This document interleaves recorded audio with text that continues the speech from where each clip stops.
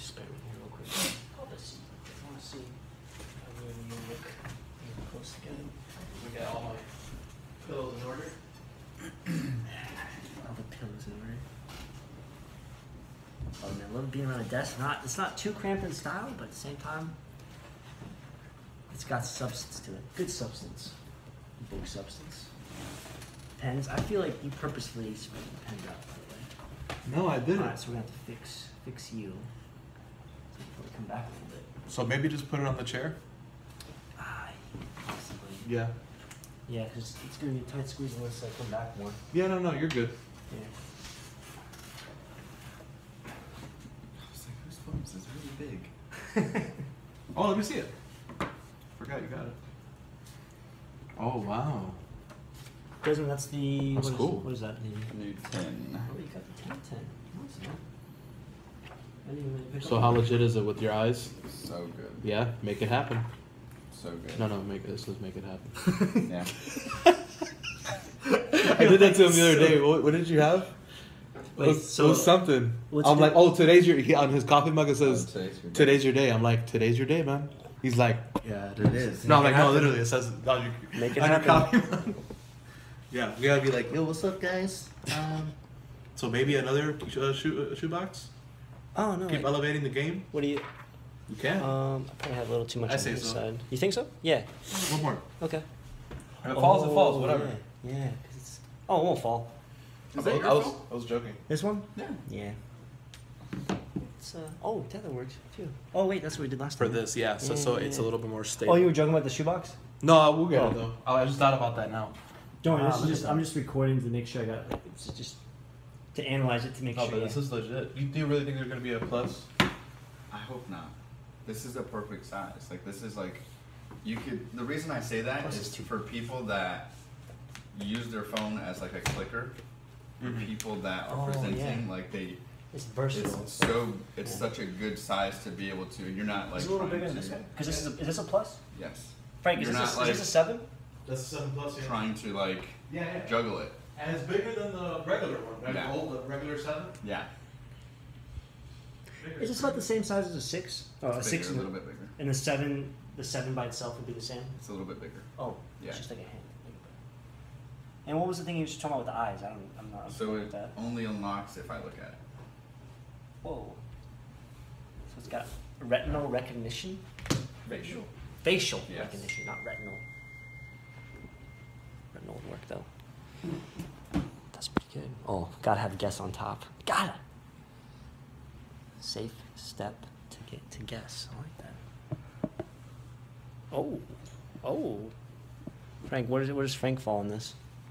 Well, I fall really low. That's for sure. Um, does it look? I gotta be like. Sup, guys? Does it look, hey. Does it look level to you? No, it's not. but Okay, you're right. It's not at all. Use the the canvas. Cause the canvas I had I had that leveled on against the wall. All right. I'm gonna do it from this angle. So you let me know. Desmond. I think that's good. Is that good? Mhm. Yeah. See my big old dome. You know, I That's cool. like, and then we'll all go live on it. you, oh, I should. I'm gonna pee too. real. Oh, there's a whole system to this madness. Oh, what is good, Z Nation? Daily Xander three seven nine. Just a little conclusion for the day. Awesome podcast with Desmond and Frank. Loved every moment of it. Again, continual growth for me, answering questions I never really thought about before. Get me a think in a different way about myself, but then also listening to both Desmond and Frank and being able to see what they're thinking about on a daily basis and how they operate throughout life. And it's just a powerful experience to be in the presence of. And I really enjoy conversations like that, deep, meaningful conversations, because it really allows what human, the human being experience is about connecting, developing meaningful relationships, and understanding individuals at a level you don't necessarily experience throughout one's day to day, a lot of times. And then also, after I got back to my place, I went to Safeways to get some food, and I had this really neat experience of chatting with a homeless veteran, Marvin. And when I first saw him from a distance right outside the Safeway, I parked my bike and I just noticed him right away, just sitting next to the entrance. And I went up to him and I just straight away asked how he was doing and asked if he needed anything as far as food. And he just said, honestly, man, what I really need is some clothes and a blanket. And we're at Safeway, so there was no there was no clothes there. So I said, hey man, just give me like about 10 or 15 minutes to go inside, see if I can get you a gift card or some food. In my mind, when I went inside, I was like, you know, I'm just to give him cash. So after I got my food and got back out, I went up to him and, hey man, here's 20 bucks. And he was very grateful and appreciative of it. And what was really cool right afterwards, and he, he got up and told me a little about himself, but then also right afterwards, in that span of chatting with him for about 20, 15, 20 minutes or so, two other individuals came out of the store. And her name was Violet, I believe. She came up with like three bags of, or two bags of groceries and like eight or ten Gatorades, pack of Gatorades, to just drop off for him and and and looking out and being and having a genuine interest in another human being.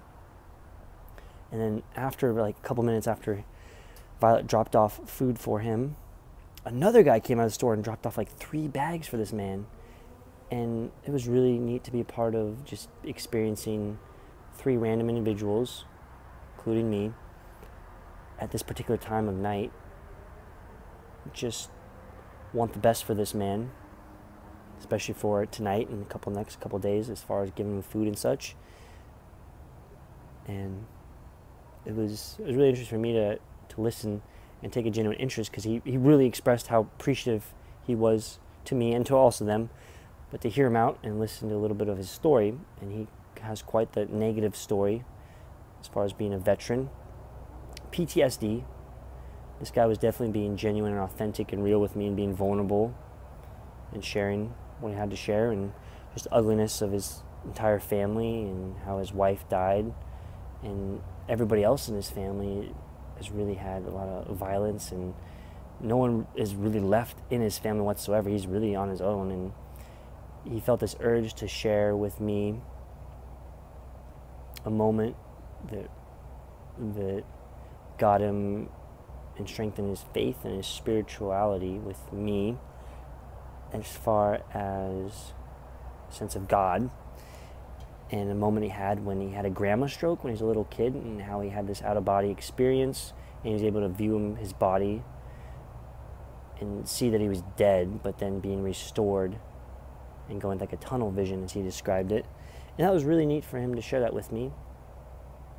And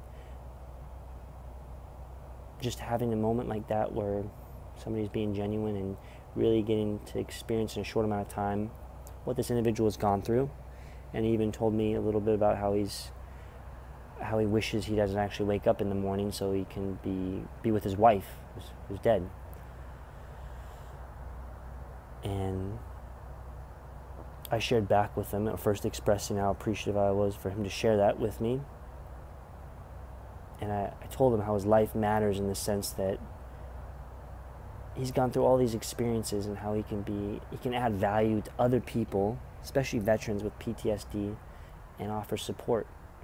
And I know he's going to continue to battle with that going forward. But it's just um, it's just really neat to see other people outside of me take an interest in him in a short amount of time, to where, at least for tonight, he's got a lot of positivity in his life. To where it could, could be that that little bit, that little degree change in direction in your life whether you're a boat in the ocean, you take one degree change, your path completely changes. That small change in his life, heck, he could be going down the positive route now to get out of his current circumstances. And his current circumstances are very dull, grim, and not looking very prosperous. And the guy, def- the guy definitely has good, and great intention as far as he's a, he's been gone through some very tough situations and experiences and uh, just really really neat for me to experience that and again adding to my perspectives and experiences and being able to at least add some value to somebody's day and know it's very impactful. And it allows you to appreciate life. I appreciate the current circumstances I'm in, where I'm going, my family, the people I just connected with earlier today with podcasting, and seeing other individuals, human beings that don't know this man at all, and help out with donating food and money. And oh, that was another. That's right. There was a there was actually a fourth person that gave him money too. So it was just just amazing. The time I asked him originally when I got to Safe, I was the first one to just engage with him, and then the time I came out from the store and talked to him and gave him money I literally saw three other people do the same exact thing through food and donating money. And it's just really cool to see in a short amount of time how all of a sudden four of us, random strangers, came together and took an interest in this man. And you talk about seeing the beauty in humanity. Well, right there, that's beauty in humanity in the sense that randomness and and and seeing others you have no idea their story but we're all connected in the sense that we took an interest in another human being. And i wish him the utmost for him continually dealing with the ptsd because that is something that is tremendously difficult absolutely. And and that he has to he'll uh, hopefully continually be able to focus on his why in the sense that his life matters as far as the story he can tell and how it can help others going through a similar situation and know that there's still value to your life and how you can be significant to others. And i uh, really hope he's able to to find people to find a group positive people to help him with change in his circumstance. And perfect example there, you don't have to feel like you have to change the world. It's more so looking for ways you can instill value in the areas you live. And so much can be added in value for just focusing on how you can make a difference, not even a difference, how you can impact the area you live in. So it was a really cool experience I uh, had for tonight, the podcast, and then interaction with that homeless man. And oh, I'm uh, very appreciative and grateful of continual growth for myself because ultimately, better, the best. Uh, I'm aiming to become the best version I possibly can, and I never want to become that ultimate version, but aiming for it. So I'm able to be able to impact more people. All right, G Nation, pleasure as always. Peace, love, unity, respect and much passion and just loving life over and out. Hoorah!